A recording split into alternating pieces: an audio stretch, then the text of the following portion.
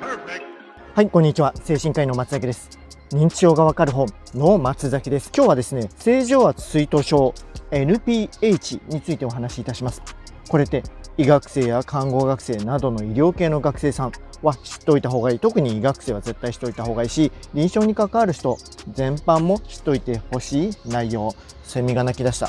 まあ、このまま行こう。というわけで、筑波大学医学部医学類いわゆる医学部でベストティーチャーを何度も取ってきた精神科医が短時間でお送りするウェブ講義。本格的な精神医学を分かりやすく解説いたしましょうセミナクね。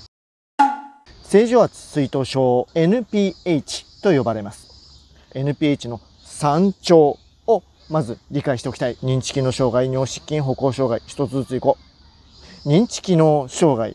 処理速度が低下したり、注意障害が出たり、実行機能障害が出たり、いわゆる認知症になります。もう認知症です。尿失禁も起きるんです。まあ、尿意、切迫、頻尿傾向などの過活動性の膀胱状態で尿失禁になります。歩行障害が出ます。小刻みになってすり足になって遅い方向になります。なのでパーキンソン病でも出たかなみたいに思われがち。正常圧水頭症の歩行はまあ、パーキンソン病の歩行と違って外股開脚で不安定さが目立つのが特徴とされています。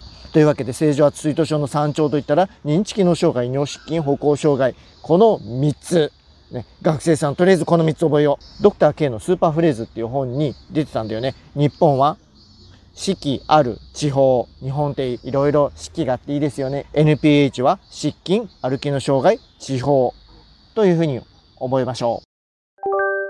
何が起きているかというと、正常圧水頭症とは言いますけども、正常圧とはいえ、少し脳脊髄液の圧が高めなんです。これがずっと続いちゃうんです。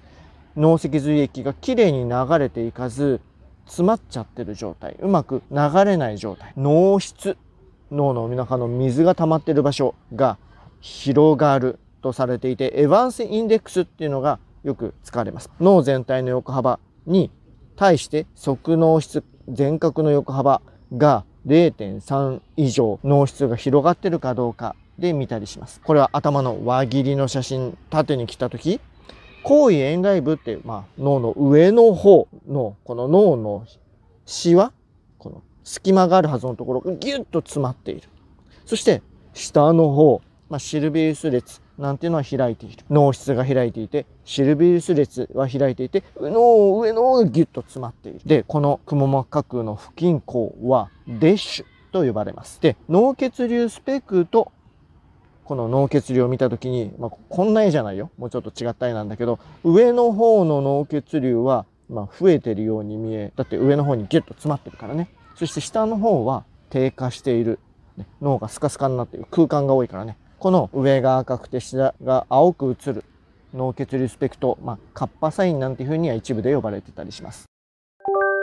どうやって調べるか画像検査も大切だし、さらに背中から針を刺して脳脊髄液を少し抜きます。タップテストと呼ぶんですけども、脳脊髄液排除後に認知機能や歩行機能、あとは失禁も改善が得られるかどうかを見ます。アップゴーテストっていうのがあります。これは歩行機能を見るもので、椅子に座ったところから立ち上がって3メートル歩いて、そして椅子に戻る。時間を測る。椅子とメジャーで3メートル測って、まあテープか、ビニールテープかなんか貼ればもうできるテストです。急がず自然なペースでの歩行を指示します。あんませかして転んだりさせない自然なペースでの歩行。認知機能が改善するかも確認します。MMSE とかで。尿失禁が減るかも、まあ、観察はします。治療で治りうる認知症、トゥリータブルデメンチアの一つとされていて、トゥリータブルデメンチア、ね、いろいろあるけども、正常圧水頭症はその一つ。まあ、脳脊髄液を抜いて、アップゴーテストなり、MMSE なり、尿失禁なり、まあ、少しでも改善が得られるようであれば、脳外科医に相談をし、脳の逃げ場がなくなってる水をチューブを通してお腹に流しちゃう。とか、あとは腰椎のあたりから管を出してお腹の中に流しちゃうみたいな VP シャント LP シャントなんていう手術が行われて良くなることがあります。というわけで正常圧水図症 NPH についてお話しいたしました今日ね日本精神神経学会で京都に来ていてその昼休みで公園に来て撮ってます、まさかこんなことやってると他の人思わないよねきっとね。認知症がわかる本なんていうのも参考にしていただければ幸いです。YouTube のチャンネルの方は再生リストっていうのがあって各項目がまとまって学べるようになってますので学生の方や教育機関の方ぜひご活用ください。こんな感じかな。というわけでご視聴ありがとうございました。お疲れ様でした。